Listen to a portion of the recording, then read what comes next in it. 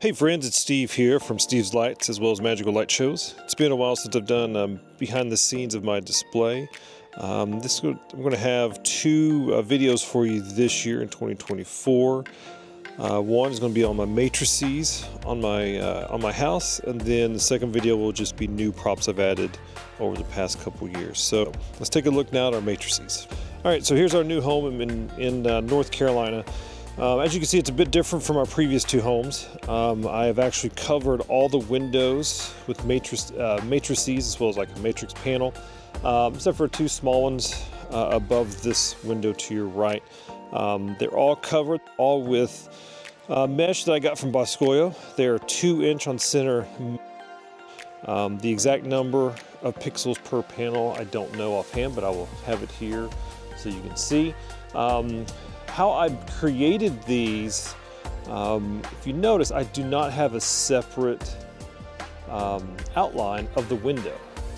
The window outline is actually built into the mesh itself. Uh, I'll show an, an overlay video of how I did that from the backside, but pretty much what we did is I took the outer perimeter of the actual mesh that it fits the window and that became my single strand uh, for the, um, the box for the actual window itself, for the outline. So that gives me my horizontals and my two verticals. And then inside that, I have two strands that's creating the actual matrix itself for the window. So in, all, in, all, in total, this window has three port connections. One for the outline of the actual uh, matrix slash window that gives me my horizontals and my verticals, as well as two port connections for the matrix itself. Um, what I love about the, the matrix on the windows, it gives this fulfillment of seeing the effects coming from inside the house. Um, I'll show you some videos of that as well. Um, it's a pretty cool effect. It gives it uh, something different, something neat.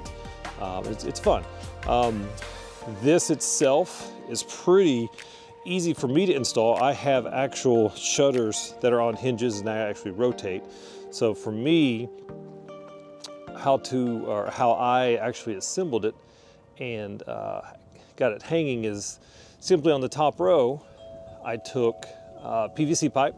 I believe this is three quarter inch and uh, zip tied it to the top of the mesh and had enough overhang on both left and right so it just sits on the top hinge of the actual um, shutters. This way here, it sits there, it's easy to install and it's pretty, pretty safe. Uh, the one thing I did not do this year that I've done in the past, um, today is a windy day so you can see it moving.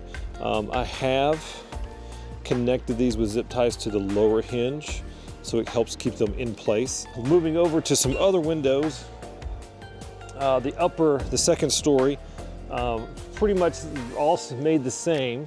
The three in the middle, let's lower this a little bit. The three in the middle are pretty similar in size. They're a little bit shorter, but they all have three port connections. You have the outer perimeter of the mesh is your um, the outline for your horizontals as well as your verticals. That's one port connection. And then the inner uh, of the mesh itself to give the actual matrix panel um, have two, two port connections. Um, the top window there is small enough that I have only two, one for the perimeter and one for the mesh itself. This panel here, if you take a look, I believe at the 2022 video, um, that's our, our time we were in Florida. This is actually a two car garage matrix that I created for that house. Uh, and it fits perfectly fine for where I need it right here, covering my porch opening. Um, it fits it's nice, uh, it fills in this space pretty well. Um, the one thing I did not do this year that I've done in the past and I will need to do in the future is just like the smaller matrices, tie those down on the bottom, or sorry, tie it down on the bottom end to the rail just to keep it from moving. Um, it's like you see, today, it's a little windy, um, so it is moving. Um, and therefore, it could cause it, it has in the past actually push back into the porch. Um, so just tie it, tie it down with some simple, simple zip ties and it, um, it is good. Now on the back side, Um, this, I believe, is 12 port connections. I think it's 201 pixels per port. Uh, I typically try to stay right around 200 pixels per port. Um, these are bullet pixels. Um, you can see all my different connections, as well as coming down the right side, all the way down into my controller. And in my next video, I'll discuss the new props as well as my new controllers I'm using, as well as having updated. Um, what I've done here is I'm connecting it at the very top with a 10 foot piece of EMT, the electrical conduit. Um, and then from there, using a, a high strength zip tie to connect it from the rafters using simple J hooks. Uh, I think I have five of them and it uh, holds pretty well. Um, it is heavy. Um, so for me, in my case, I have to have um, usually one or two other folks to help me lift this in place, um, just simply because it's, it's not safe to do so by myself.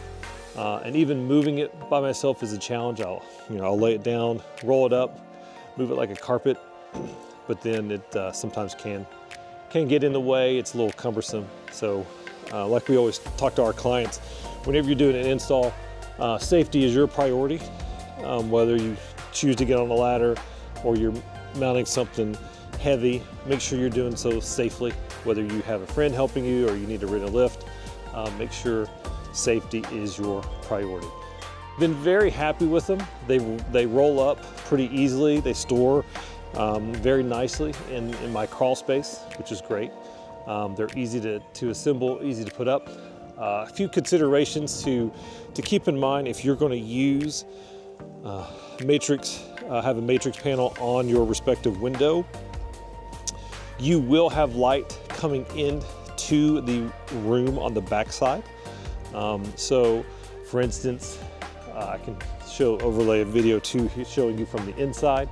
Um, it's not a big deal, but the two room, two windows on your left is uh, one of my kids' room. And so at night, um, if she is asleep and the show's playing, um, there, there will be bright lights flashing inside that room.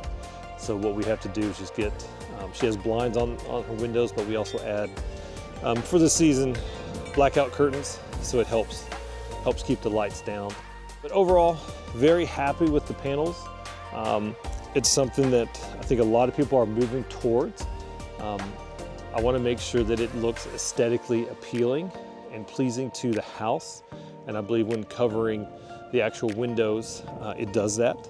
Um, now, whenever you're programming for these, um, I don't simply just put matrix effects on all of the panels themselves. Um, sometimes if it's a if it's words or if it's an actual picture or a video, I'll move it to just this single large scale matrix um, for clarity.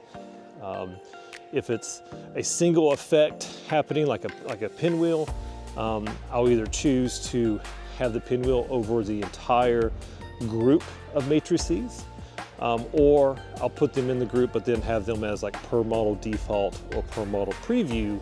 This way here, each panel gets the same effect, but it is proportionate to that panel. So um, just be careful when you do, you choose to go with matrix. Um, matrix panels on your windows when you pull in the um, importing of sequences that you will need to uh, take some time to make adjustments to what the um, programming looks like and choose what, what is best for you. Um, what, what is best for me may not be best for you, but it will cause you to have a little bit more time in front of the computer from a programming perspective just to make sure it's at your absolute best um, from a performance for your audience. So, um, but like I said, overall, I've been very happy with it. My audience enjoys it. Um, I think you would have a, a great time with it too. Um, let me know your thoughts. Uh, like, subscribe, um, give me some comments on it. Have you, have you done this before? Is there something that I'm doing that you would do differently? Um, as well as what do you like about it or, or is this too much for you? So um, hopefully you can check out my other video coming up. It'll be new props for 2024 that I've added, as well as new controllers, um, just to give you some updates. So we'll see you later.